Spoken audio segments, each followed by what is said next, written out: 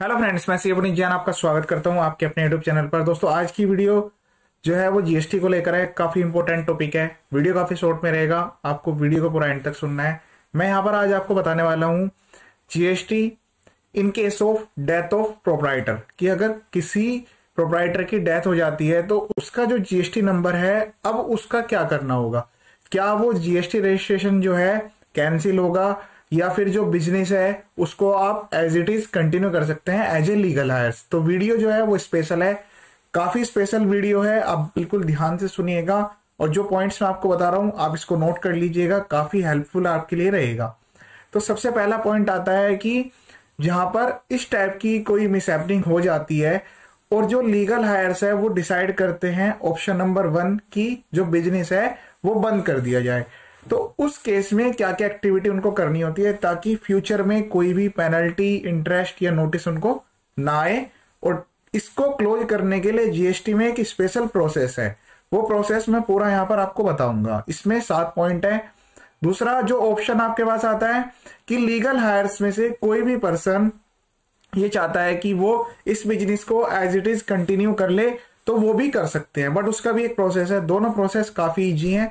आप एक बार समझ लीजिए कंप्लायंस को कंप्लीट आपको करना ही करना है। तो सबसे पहला पॉइंट आता है कि जहाँ पर ये डिसाइड हो जाता है लीगल हायर्स के द्वारा कि अब ये जो बिज़नेस है, जो प्रोप्राइटर का बिज़नेस था, ये अब बंद कर दिया जाए। तो अब बंद करने के लिए सबसे पहले क्या करना पड़ेगा कि जीएसटी नंबर को आपको कैंसिलेशन के लिए अप्लाई करना होगा। बट कैंसिलेशन के लिए अप्लाई करने से पहले जो है, जो लीगल हायर्स है, वो सारे के सारे person as a legal heirs वो ऑथराइज सिग्नेटरी कोई भी एक पर्सन को बना सकते हैं बट उसकी जो पावर है वो ऑटोमेटिकली आप पोर्टल के थ्रू नहीं कर सकते।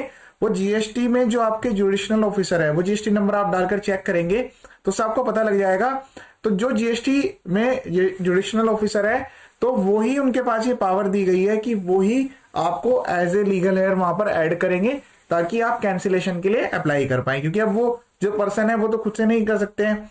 और जो लीगल हेयर्स है, वो ही प्रूव करेंगे कि उनकी जो लिंक है डिसीज पर्सन से, कि वो जो लीगल हेयरशिप है, वो उनको खुद से प्रूफ करनी पड़ेगी। उसके लिए डॉक्यूमेंट्स होंगे, जैसे PAN card Aadhaar card death certificate उसके अलावा जो उस पर्सन का रिलेशन प्रूफ कर सके ऑफिसर को। तो ये सबसे पहले एक्टिविटी क्या करनी है? कैंसिल करने के लिए कि जुडिशनल ऑफिसर से आपको स्टेटस ले लेना है ताकि वो जीएसटी पोर्टल पर वहाँ पर ऐड कर सके कि आप ये एक्टिविटी कंप्लीट कर पाए। जब आपके पास ये पावर आ जाए एज ए लीगल है आप ऑथराइज पर्सन बन जाए जीएसटी के अंडर, फिर उसके बाद आपको जितनी रिटर्न पेंडिंग है, वो सारी की सारी रिटर्न कंप्लीट करनी होती है। एक चीज़ ध्यान रखिएगा, एक फाइनल रिटर्न भी आती है जीएसटी आर टेन वो भी कंप्लीट करनी होती है।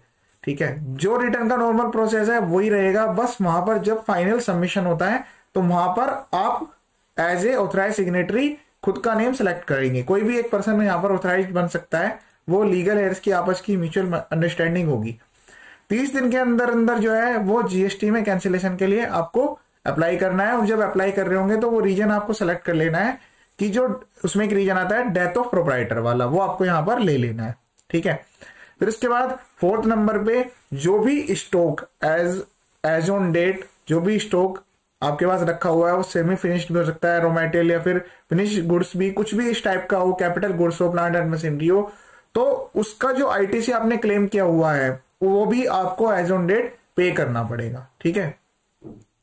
तो जो भी वो टैक्स उस पर आएगा इनपुट टैक्स क्रेडिट का, वो आपको पे करना होगा कैश लेजर के थ्रू कैश मतलब पहले आप चलान जमा करेंगे, फिर कैश बैलेंस के थ्रू वो पे करना होगा, ये मैंडेटरी पार्ट है। फिर जो फाइनल रिटर्न मैंने आपको बताई है, वो तो तीन महीने के अंदर अंदर फ़ाइल करनी होती है। तो जीएसटी आर टेन आपको फ़ाइल करनी है।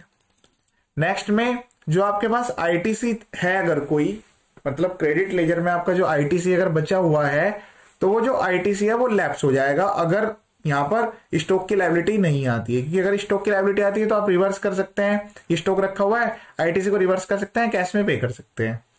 कोई अदर अगर लाइबिलिटी जीएसटी में अराइज होती है मतलब इन फ्यूचर कब तक की, जब तक कि वो बिज़नेस कंटिन्यू था तो वो जो डिमांड या लाइबिलिटी आएगी तो वो जो भी उस पर्सन के स्टेट के लीगल हेयर्स होंगे तो उनको ये लाइबिलिटी भी पे करनी होगी विद इंटरेस्ट और पेनल्टी तो इस चीज़ का ध्यान रखिएगा, जो भी ऑथराइज पर्सन बनेंगे तो उनके ऊपर ये जो लाइबिलिटी आएगी बट उसके लिए भी स्पेशल प्रोविजंस होते हैं एक्ट के अंडर में to the extent to which the estate is capable of the meeting the charge तो ये ध्यान रखना है आपको कि अगर डिसकंटिन्यू कर रहे हैं आप बिज़नेस तो उस केस में सारी एक्टिविटी आपको कर, ये करनी ही करनी है मैंडेटरी है। अगर ऐसा नहीं करते हैं तो जो जीएसटी रिटर्न है वो डिले होती जाएँगी उन पर पेनल्टी हो जाएगी।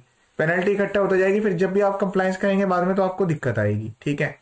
और आपने डिपार्टमेंट को इंटीमेट नहीं किया विद इन थर्टी डेज़ तो उसकी अलग से पेनल्टी लग जाएगी। जो आईटीसी आपने रिवर्स नहीं किया, उसके लिए भी पेनल्टी लग सकती है। जीएसटीआर टेन की जो है, दस हज़ार रुपए तक की पेनल्टी है, उसकी भी लेट फ़ीस चलती है। तो ये बेटर है कि टाइमली इसको कंप्लीट कर ले। दूसरा ऑप्शन आता है, उसमें भी कुछ पॉइंट्स तो कॉमन है। सबसे पहला पॉइंट जो आता है, वो ये है कि जो जीएसटी नंबर है बिज़नेस कंटिन्यू करने के बावजूद भी जो जो ओल्ड पर्सन का मतलब जो डिसीज पर्सन है, उनका जो जीएसटी है, वो अभी भी कैंसिल होगा ही होगा। बट अब क्या होगा? ये कैंसिल करने के बाद जो लीगल एयर्स है, उसमें से जो भी पर्सन उस बिज़नेस को कंटिन्यू करना चाहता है एज ए प्रोप्राइटरी तो वो क्या करेगा? एक फ्रेश रजिस्ट्रेशन अप्लाई करेगा। और ये काम उसको कब करना है? कैंसिल करने से पहले। पहले यहाँ पर कैंसिल नहीं करेगा। वो पहले एक फ्रेश रजिस्ट्रेशन अप्लाई करेगा। उसमें रीजन लिखेगा डेथ ऑफ़ प्रोप्राइटर और डेट कि इस दिन जो है प्रोप्राइटर की डेथ हो गई है।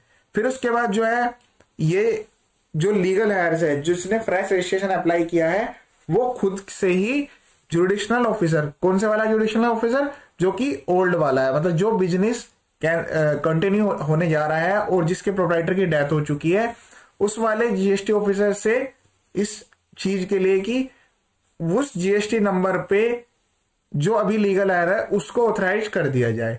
तो उसके लिए क्या करना होगा? उस पर्सन को अप्रोच करना होगा, अपने कौन से वाले जीएसटी जुडिशनल ऑफिसर जो कि बिज़नेस डिसकंटिन्यू हो गया है? मतलब बिज़नेस तो कंटिन्यू हो रहा है, पर लेकिन उसका जीएसटी कैंसिल करना पड़ेगा। फिर उसका जो स्टॉक है, वो तब आप ट्रांसफ़र कर पाएँगे, ठीक है? इसके लिए सेम वही पॉइंट आता है लीगल एयर को प्रूव करना पड़ेगा। फिर जो बिज़नेस है, वो ट्रांसफ़र हो जाएगा। ट्रांसफ़र कैसे होगा? जो भी एज ऑन डेट स्टॉक है लाइबिलिटीज है एसेट्स हैं, वो सारे के सारे एज पर लेटेस्ट जो भी पी एंडल और बैलेंस शीट होगी, उसके हिसाब से वो ट्रांसफ़र हो जाएगा। और अगर कोई लाइबिलिटी आती है, ऐसे एक से ज़्यादा लीगल एयर्स हैं तो वो आपस में उसको डिस्ट्रीब्यूट करेंगे, जो भी उनकी म्यूचुअल अंडरस्टैंडिंग होगी, ठीक है? फिर उसके बाद क्या होगा? जो आईटीसी है, वो लैप्स नहीं होगा। ये बेनिफिट मिल जाएगा इस केस में कि जो आईटीसी बचा हुआ है, वो आईटीसी ज़ीरो टू एक फॉर्म होता है, उसको फ़ाइल करके न्यू रजिस्ट्रेशन इस पर्सन ने जो लिया है मतलब जो लीगल ले है, उसने जो नया रजिस्ट्रेशन लिया है, वो इसको क्लेम कर लेगा। तो इस केस में क्या फ़ायदा मिला? जो आईटीसी लेजर का बैलेंस था, वो भी बच गया और जो स्टॉक है, वो आईटी ट्रांसफ़र हो गया। तो इस टाइप से क्या हुआ कि बिज़नेस जो है, वो कंटिन्यू में आ गया बट जो ओल्ड जीएसटी नंबर है, वो तो डिसकंटिन्यू ही रहेगा।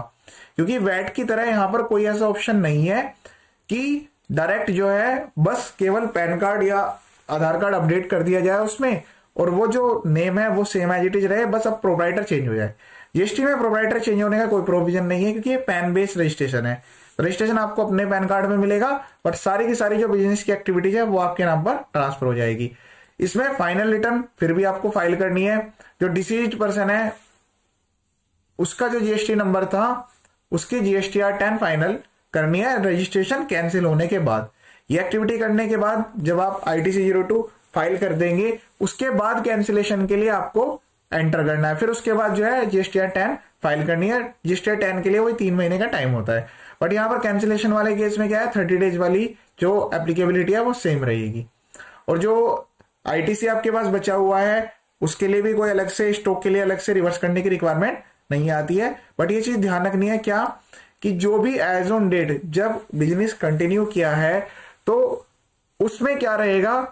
एज ऑन डेट तक जितनी भी लाइबिलिटी अगर फ्यूचर में कभी अराइज होती है जीएसटी की, वो अलोंग विद इंटरेस्ट और पेनल्टी पे करनी होगी जब कभी भी उसका नोटिस आएगा।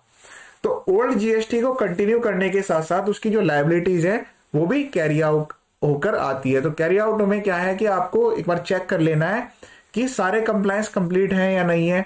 अगर नहीं है तो उनको कंप्लीट कर लेना है। उसके बाद अपने बिज़नेस को कैरी आप कर सकते हैं। यह था एक शॉर्ट वीडियो जिसमें मैंने आपको पूरा डिटेल में बता दिया। दो ऑप्शन है। आप आराम से इसको एग्जीक्यूट कर सकते हैं। जीएसटी में काफ़ी सारे वीडियोज़ मेरे चैनल पर मैंने अपलोड किए हैं, जिसमें बेसिक कंप्लायंस और रजिस्ट्रेशन पार्ट को भी कवर किया है। इनकम टैक्स और जीएसटी की बेसिक अपडेट्स भी आपको यहाँ पर मिलती रहती है। तो आप एक बार चैनल पर सारे वीडियो देख सकते हैं, आपको हंड्रेड परसेंट बेनिफिट मिलेगा ही मिलेगा। ये वीडियो देखने के लिए थैंक यू सो मच